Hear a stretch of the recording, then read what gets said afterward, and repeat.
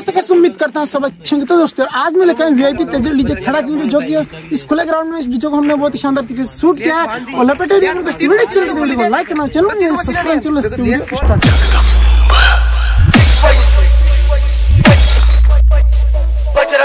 DJ Suresh Palra.